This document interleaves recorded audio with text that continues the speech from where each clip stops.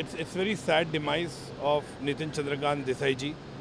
Uh, I had a great bond with him, great relation with him, worked with him in four films uh, Traffic Signal, Fashion, Indu Sarkar, and Jail, four films. Uh, had a great bond, absolutely amazing, talented uh, art director. His contribution in Indian cinema will be always be remembered. Uh, a personality who's very extrovert, down to earth, very friendly to people, always supportive. Uh, even if it would be small film or a regional film, he would still stand by the filmmakers, always be there for them.